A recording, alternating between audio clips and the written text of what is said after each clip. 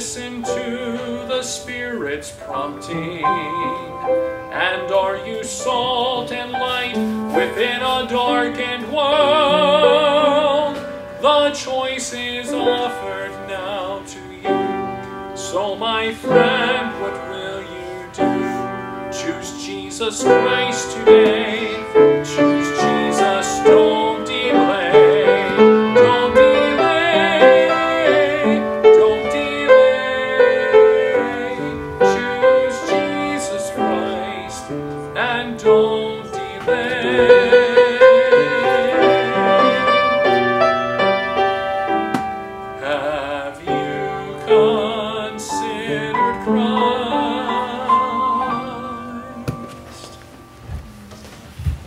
Junior Church at this time. At the back door with Mr. Lee. If you're up to sixth grade, you can go uh, with Mr. Lee. then if you're in the toddler nursery, we'll dismiss them as well at this time. Mark chapter 2. Mark chapter 2.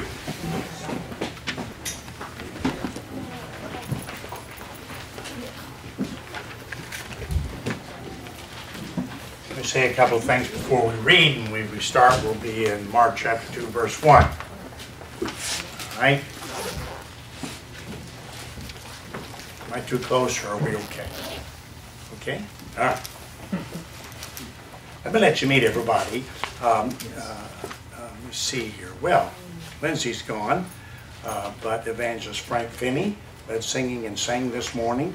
And then Lindsay, his wife, played the piano and they've got four kids that are here, Alyssa and uh, Ethan and Juliana and Elijah. So you want to meet them if you can after the service. And then my wife is here. Pat, would you stand up just quickly so they can? This is my wife, Mary. And we celebrated number 51 in our anniversary back in December. So I know you're just worried to death about this. I'm 75. So, so you'll know that I'm 75. And I've been 75 since December. So that's pretty good. And I'm actually in my 76th year. So everybody got this right now, you know that. I was 10 when the ranch began, and I remember that, of course, very well. Appreciate your giving to the Campership Fund. We came up with the name Campership from uh, the word scholarship you know how you have a scholarship to get into school? Well, this is a campership to get in camp. And not the first deaf teenager has paid the first dime to come to the Bill Rice Ranch through these years, and that's been wonderful. And you folks have helped with the campership fund now for several years, and I appreciate that very much. That's great. On the shelf, the table, the bench, and the back are several books from the ranch. Not that many, actually, but there are uh, five, I call them white books. There's actually, I think, four of these and one yellow book. And these books are all about 60 pages and just helpful. This one is on friendship, a friend indeed. And there's one back there about the internet. Um, it's about, uh, I can never remember the name, but it's tweets, puns, and posts, something like that. It's about the internet. It's really very helpful. There's one back there about uh, the so-called gay marriage movement that's kindly written and authoritatively written from the Bible. It's uh, just excellent. Um, there's one back there on, uh, um, it's just a fun book actually. It's the, the, book that's yellow and it's just a fun book about stories that have happened with us in the ministry. So they're all back there. They're $5 a piece. Um, which way is up is normally 7 bucks. But you can get it this morning for $5, and there are a couple of other books back there, so I hope you'll look at that. How many of you are planning on being in the service tonight? Can I see your hand? Wonderful. Great. Okay. Well, we will love to have you.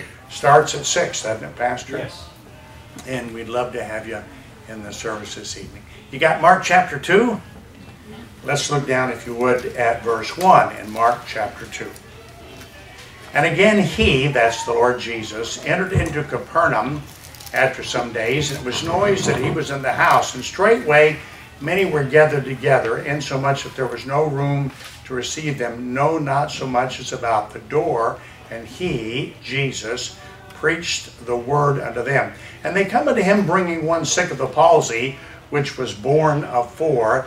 And when they could not come nigh unto him for the press, the crowd, they uncovered the roof where he was, and uh, when they had broken it up, they let down the bed wherein the sick of the palsy lay. When Jesus saw their faith, he said to the sick of the palsy, Son, thy sins be forgiven thee. But there were certain of the scribes sitting there and reasoning in their hearts, Why doth this man thus speak blasphemies? who can forgive sins but God only. And immediately when Jesus perceived in his spirit that they so reasoned within themselves, he said to them, Why reason ye these things in your hearts? Whether is it easier to say to the sick of the palsy, Thy sins be forgiven thee, or to say, Arise and take up thy bed and walk, but that ye may know that the Son of Man hath power on earth to forgive sins. He saith unto the sick of the palsy, I say to thee, arise and take up thy bed and go thy way unto thine house. Father, help us, I ask now, in these next few minutes as we look at this passage of Scripture to see what you've said and help us to remember it and learn from it and live in light of it, I pray. And we ask these things in Jesus' name and for his sake. Amen. Amen. How many of you people remember flannel graph. Does anybody here besides me? Okay, six or eight. Flannel graph was a, um, it is a board like, like a blackboard, maybe about this size. It's usually standing on a tripod and it had a cloth on it and the teacher would take figures like paper cutouts, figures that had this same cloth on the back. Think of Velcro. Think of Velcro and they would put that on the flannel graph store. And when I was a kid, many, many years ago, when I was a child, we used to use, or I used to go and see stories told in flannel graph. And this is one of the big flannel graph stories because it has a lot of visuals to it. Now, there are some incidentals that are not clearly given in the story in Mark chapter 2. But I know everything about this story because I remember flannel graph. For example, how do they let the man down to see Jesus? It was simple. They had ropes. There were four men, and they lowered the man down to see Jesus. Now you say, are you sure that's the way it happened? I've seen the flannel graph. So, yes, the way it happened. How did they cut the roof off? Well, evidently they had saws and hammers and stuff, and they took the roof off. Actually, it came in sections so they could lure the man down to Jesus. And then when this poor sick man was healed, what was it like? Well, the crowd was joyous, and he was able, as Jesus had said, to walk home carrying his bed. What was his bed like? It was two poles with material like canvas between them that could easily be rolled up, and the poles could be carried over a man's shoulder. Now, is that the way it really happened? I don't know. It probably is fairly close. The one incidental that nobody would have known without flannel graph is how they got on the roof. It's really very simple. There was a staircase on the side of the house that led to the roof. Now, why people would have a stairway to the roof, I don't know. Although we are told that the roof, in some cases, in first century, what we would say, Palestine, was used a little bit like a porch so they, they may have been able to go on the roof that way. We don't know. But the story says that four men brought their friend to the Lord Jesus Christ, and there he was healed. Now, the friend was a paralytic, so he couldn't walk. I'm assuming he would have been gnarled and not able to use his hands well either. And he was carried by four. Why four men? I don't know. Again, the Bible doesn't say what we typically think of is that there was one man on each corner of the bed that carried this dear, palsied, sick man to the Lord Jesus Christ. And when they did, Jesus saw their faith and responded to it. Now, I've often pictured this. This doesn't come from flannel This just comes from me. You're down in the house when suddenly men are tearing the roof off the house. And of course, there'd be dust coming down, wouldn't there be? You'd hear all the noise up there, so everybody would look up, would they not? And this dust is falling down, and people are looking up and they're getting dust in their eyes. And here's what I've always pictured one of the four men didn't have all of his teeth. Bible didn't say that. I've just pictured it this way. And so when when the roof was torn off of the house or partially removed from the house. I can just see this one man looking down at the people underneath with a big smile on his face and no teeth in his mouth. It would have been quite a sight, don't you think? Now, we don't know if that happened, and I'll tell you what we do know. Number one, we know there was a large crowd.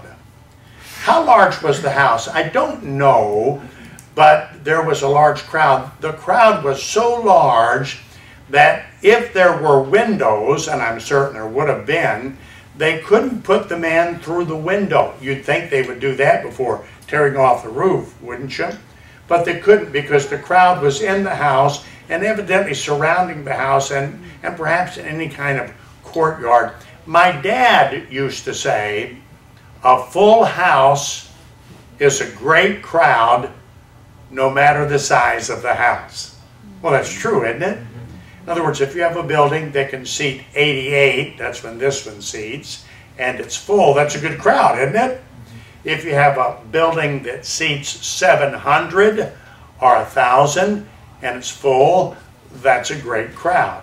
So there was a great crowd in this house when Jesus was there. Number two, he preached the gospel unto them. He preached unto them the word of God. Now that's interesting to me because Jesus Christ, the Son of God, could do no better than to preach the Bible.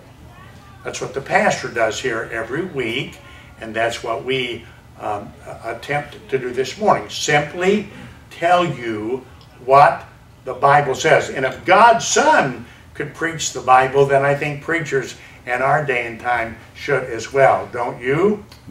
Then we come to one of the big questions of this story, and that is why did the men bring their palsied friend to the Lord Jesus? It's fairly simple to answer.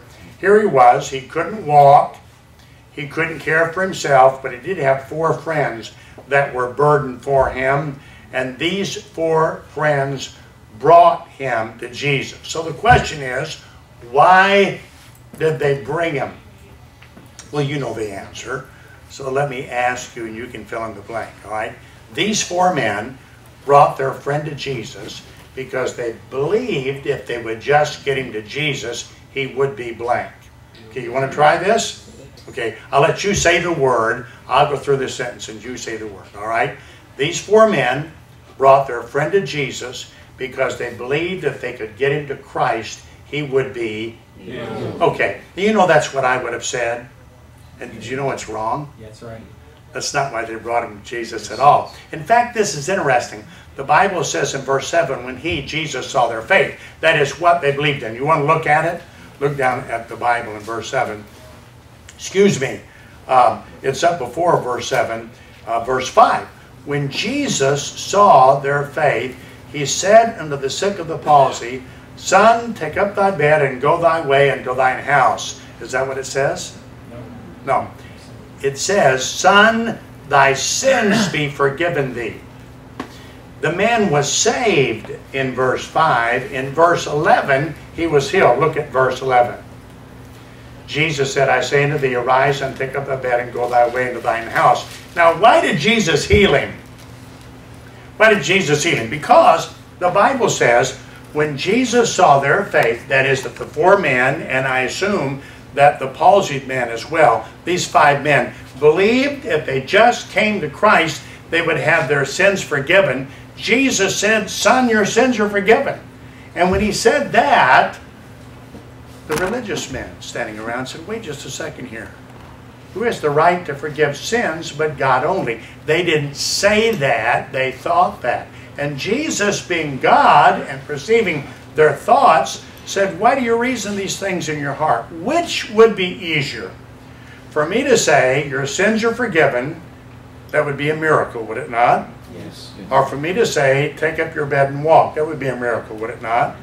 So Jesus said, That ye may know that the Son of Man, that's Christ, hath power to forgive sins, not to heal, but to forgive sins. He said unto the sick of the palsy, I say unto thee, arise and take up thy bed and go thy way into thine house. Now, now look, this is important. Jesus healed the man so that people would see he had the power and the right to forgive men of sins. You see that in the passage? Yes. Okay, it's really very clear, isn't it? Yes. Well, why did we all say then they brought him there to be healed? That's what well, there are two reasons, all right? One is you got a crooked preacher because I led you on. I said this the story of a man being healed. It's not. I said the man was crippled and he couldn't walk and he had four friends that brought him to Jesus. Well, that's true, but it's not the point of the story. Um, I said, uh, in this healing, uh, this poor man who was carried in walked, uh, essentially, I said, walked out. I did say all that. And so I centered our thinking on the healing when that's not what the passage does. Right. The passage centers our thinking on his having his sins forgiven. Now, you know what this means among many things? This means that sins being forgiven is more important than a body being whole. Amen. How important is it that a body is whole? Well, I think I think it's really important, don't you? None of us would say, you know, I don't care if I'm sick or well. Doesn't make any difference to me, flu, cold, whatever. If I'm sick, that's fine. If I'm well, that's fine. Wouldn't all of us have a preference between being sick and being well? Yes. Isn't being well a good thing? Don't, don't we, when we come to prayer meeting on Wednesday night, often hear requests of people that are sick? I've, I've heard of two friends. One really is not a close friend. I don't know her well, but the other is a very dear friend of mine. And this week, I heard about both of these friend, friends being diagnosed with cancer. And so I've been very, very much aware of my friends, well, specifically the one who has cancer. I prayed for him every day. And I've called him, I guess, this past week uh, three times. And Mary and I have talked about him. And I talked to another friend about him last night. And my other friend said, you know, uh, my wife and I have been praying for him every day. Well, that makes sense, doesn't it? If you have a friend and he comes down with a disease that's very serious and could be terminal, wouldn't all of us be burdened for him and pray for him? Yeah, because health is very important, but it's not as important as having your sins forgiven. This church doesn't exist so that people can be healthy. Though this church would have a burden for health, don't you think? I mean, we would pray for health, wouldn't we? But that's not the reason this church exists. This church exists so that people can have their sins forgiven. Now, let me ask you a question, and basically, we'll be finished, all right? Uh, you're, you're fairly healthy, aren't you? Oh, you're here this morning, aren't you? How, how many of you people have had or you're planning to have at some point the flu? Can I see your hand? Have, have any of you had the flu? Okay, all right. Um, how many of you feel really good today, but you're, you know, you're basically a realist or even a pessimist, and you, you, you are sure that you're going to get sick at some point in the future? Okay. How many of you believe, you don't have to raise your hand on this one, that at some time you will get sick and croak. That means die. The pastor's very excited about that. All right. Well, won't all of us? Won't all of us die at some point? I know it's not sure to think of, but won't all of us die at some? I know what some of you are thinking. You're thinking, Brother Rice, you're, you're nearer to it than I am. but none of us know that. Right. None of us know that. I mean, we're all going to die, are we not? What if I prayed for and received great health and lived to be, let's say, 90. My mother uh, died a year and a half ago, and she was 101. She was almost 102. So, what if I lived to be 90 years of age, and what if I had perfect health, and at 90 years of age I died, but I had never had my sins forgiven? Would we all be thrilled or saddened by that? In other words, would you say, well, you know, Bill lived for 90 years and he had great health all 90 years. What difference would that make if I had died and gone to hell? You see this? What if I prayed for you and I, I, I wouldn't have the authority to do this, but what if just as a friend, what if I said, I'm going to pray that you have great health for the next 20 years. Now, I could pray that, but what if I could guarantee it? I'm going to pray that you'll have health for the next 20 years. And suppose my prayer was answered and you had complete health, you had wonderful health, you had perfect health for the next 20 years, but your sins weren't forgiven. Suppose you died then in your sins in 20 years and went to hell. Let me ask you a question. In the light of eternity, that means never ending. If I live for 70 or 80 or 90 or even 100 years and do well and am healthy, but then die and go to hell, what kind of sense would that make? What if I were sickly and lived to be 30 or 40 or 50. And I struggled for health all of my life, but I knew Christ and had my sins forgiven and died and went to heaven. I'd say I'd be in pretty good shape, wouldn't you? Yep. Yeah. now, I'm, I'm not saying that we shouldn't be worried about health, that's fine. I'm saying that being healthy and not having sins forgiven is the life of a very foolish person. Nothing is more important than your being right with God in the sin question. Now, how was this man, how did he have his sins forgiven? It's really simple. The Bible says when Jesus saw their faith, faith in what? Yeah. Belief in what? Belief that his, the palsied man, his sins could be forgiven by Jesus Christ. In other words, this man who was palsied believed on, he trusted in Christ to do for him what he couldn't do for himself.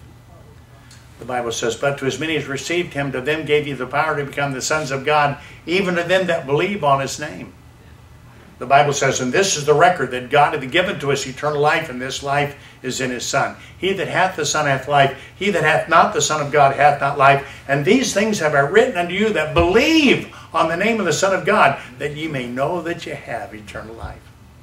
Eternal life comes when one believes, trusts, rests upon, relies on Jesus Christ to do for him what he can't do for himself. Suppose you said to me, Bill, do you think you can get to heaven? My answer would be no, I can't. I don't even know where it is. I know it's, it's in the heavens. I know we would say it's up. But you know, the earth rotates every 24 hours. And so up in the heavens right now is not going to be where up in the heavens is in 12 hours, is it? Um, I live in Tennessee. It's north of here and slightly west. I don't know how far west, but far enough that we're in the central time zone. So the Earth is a globe, is it not? So if you have this globe, and uh, let, us make it this way. If, if this is Lauderdale and this is Nashville, up from Nashville would be different than up from Lauderdale, wouldn't it? I don't know exactly where heaven is. If I knew where it was, I don't have the vehicle to get me there. Now, I own a car, but unfortunately, it can't fly. And if you owned a plane, it couldn't go out of the atmosphere. And if you owned a rocket ship, which none of us do, you couldn't live in it. To get yourself, how would you get to heaven? I don't even know where it is. So here, here's, here's what I've done. I've trusted in Christ who bought and paid for eternal life to do for me what I cannot do for myself. You can do that as well. Yeah. And if you've never trusted in Christ, you should. And here's the second application I'd like to make just quickly. If all of us are concerned about our friends and their health, shouldn't all of us be concerned about our friends and whether or not they put their trust and faith in Christ? Wouldn't that be important? Here's a man who came to Jesus. He had four friends that bought him. They brought him because they believed if they just got their friend to Christ, he would be saved. The icing on the cake is that Jesus, in order to prove to the doubters that he had the right to save, also healed this man. Now, I'm sure this man right now, who's with Christ in glory, I'm sure he's thankful he was healed. Don't you think so? Mm -hmm. What do you think he's most thankful for? Mm-hmm. That his sins were forgiven. You're healthy enough to be here, that's great. Mm-hmm. Have you ever had your sins forgiven? If not, you can. And you can this morning, and you can right now in this place where you sit by simply trusting, believing in, receiving Christ to do for you what you can't do for yourself when it comes to the sin problem. Let's bow for prayer, shall we? Heads are bowed and eyes are closed. I'm going to ask the pastor to stand with me. And Brother Frank will be up here as well. And I'm not going to point anybody out. Would you mind just sitting up real good and straight? If you'll do that, it'll, it'll help you to stay uh, awake. Our heads are bowed. I'm not, I'm not going to embarrass anyone. I know, I know you would recognize that, but I'm just telling you so you can be confident of it. I won't point you out, but I would like to ask a couple of questions. And if you so desire, you can respond by simply raising a hand. All right? Number one, I wonder if you're here and you'd say, Bill, I'm healthy enough to be in church today, but I can't say I know my sins are forgiven. If I died today, I don't know that I would be in heaven. I'd like to know that, but I don't know that. But I want to know it. And I would like to believe on Christ, to trust Him for my salvation, just like this paralytic, this man did. So here's what you're saying. Bill, I'm in church today, and that's fine. I'm glad to be here. But I don't know that my sins are forgiven. I don't know I'm on my way to heaven. If I were to die today or 30 years from today, I don't know that I would go to heaven. But I'd like to know that, and I'd like to know my sins are forgiven. And you'd say this Bill and Pastor, would you pray with me, please, and for me? Not only will we pray for you, but we'll encourage you to pray for yourself, right where you're sitting. All right? So if you're here and you'd say, I can't say I know I'm saved, but I'd like to know that, praying with me and for me, would you slip a hand up right this second where you're seated? Just slip it up where you are until I see it, and then you can take it down. We'll wait just a moment. Anyone at all? How, how many folks here could say, Bill, I may not be all I should be, uh, but I have trusted the Lord Jesus. I've asked Him to forgive my sins, and I know my sins are forgiven, and I know I'm on my way to heaven. Would you slip a hand up where you're seated? Real high. Real high just for a second, all right? Wonderful. Thank you. you put your hands down. Now, have I missed anyone? Is there anyone here who could say, Well, I can't say I know my sins are forgiven, and I can't say I know I'm on my way to heaven, but I would like to know that. Pray with me and for me. I would like to know that. Anyone else at all? Would you slip a hand up? Is there anyone else at all? Let me wait just a moment. Anyone else? Okay, one more question. How many people here would say, you know, uh, Brother Bill, I've often been concerned that people have health, and I pray for that, and of course that's good. But you'd say, you know, I've not been very concerned of late that people come to know Christ.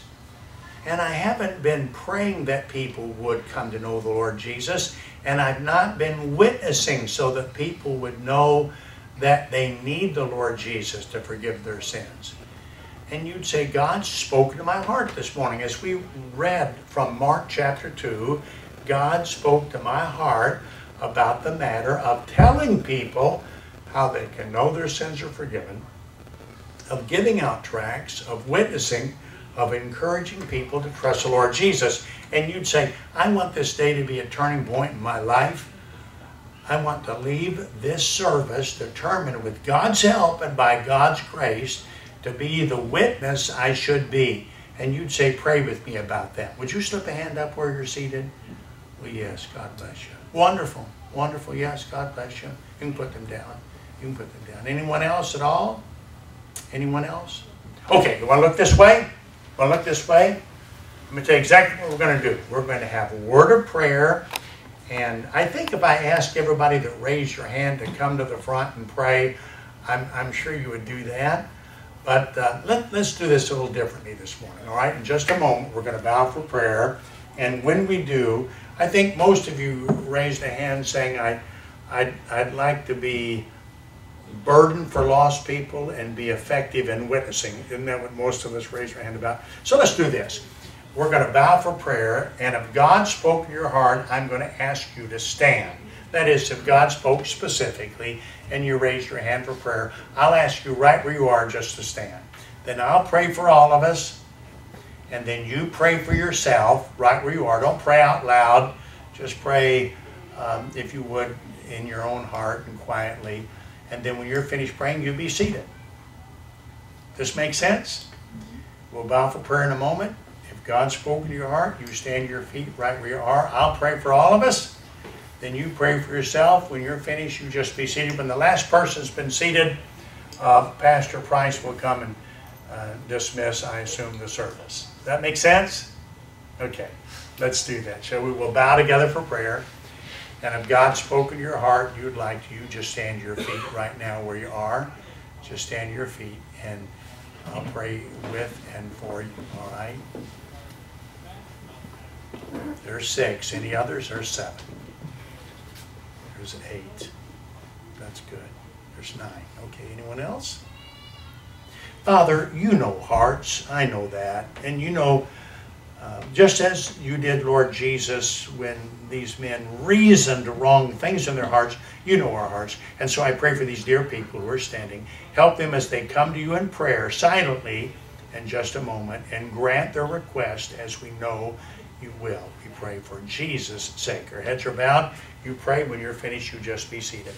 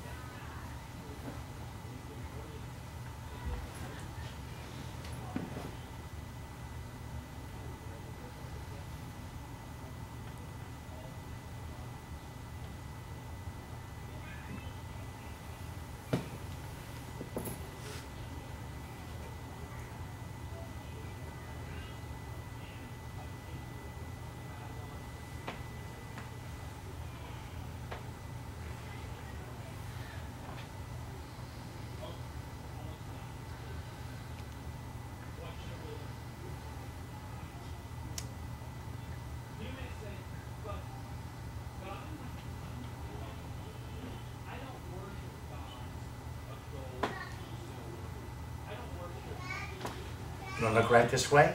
Want to look right this way? We wound up with 10 people standing to ask God's help, and that's wonderful. I'm very thankful for that. Let me just encourage you. If you want to be a witness, you can be. And if you feel a little uh, unprepared or you have concerns or qualms, that's why we've got a church. And uh, Pastor Price can help you with that. And you, you can witness by giving out tracts, by telling people how to be saved. And you know, if you witness, you'll see people come to Christ. You will. And so that's what we'll pray for on your behalf. May God bless you, Pastor.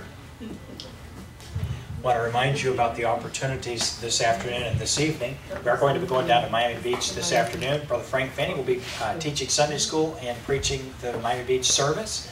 And so we'll be heading down that way. If you'd like to catch a ride with someone, please let us know. And that's another opportunity. I like to go to church all day. I think it's a lot of fun.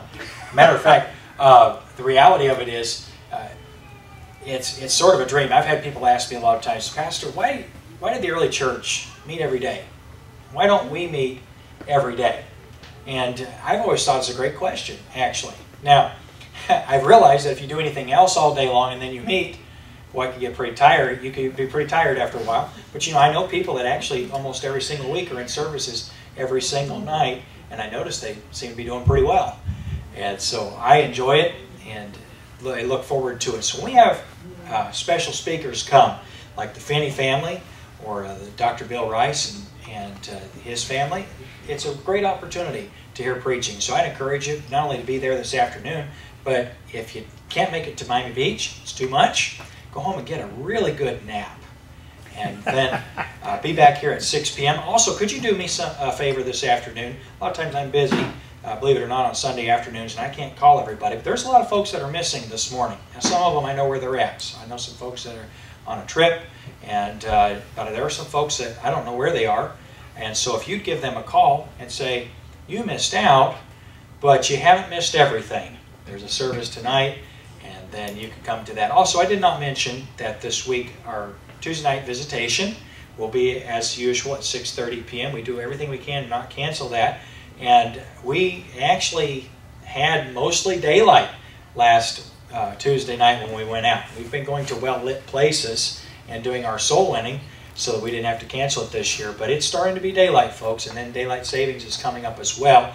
And so if darkness and the fear of it has been keeping you from going soul winning with us, please come out Tuesday evening at 6.30 p.m. And man, we've had a great time. Even when we have a bad time, it's a good time. This last Tuesday evening. It was the first time in a very, very long time that somebody's been mean. We had a lady who was just angry. I think she's a Trump supporter. That's what I told her. She must be a Trump supporter. You're so angry. And that made her angrier. I don't know why. But anyway, we really, uh, honestly, folks, hey, hey, listen, if you ever want to just have a good time with somebody, just call them a Trump supporter, especially if you think they might not be. And you'd be surprised how much fun it is. Uh, seriously we, uh, we, we just, every time we go out, when we come get back in the bus together, everyone shares, hey, you know what, I got to talk to this person, and this is the conversation we had, and I got to share the gospel. This person says they're going to come.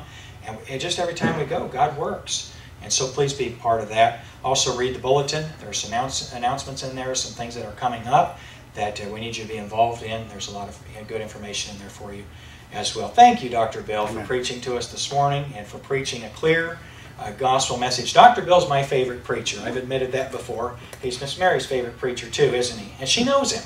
And so uh, I, I, love having them. And uh, so you, you let folks know. I'll be here tonight at 6 p.m.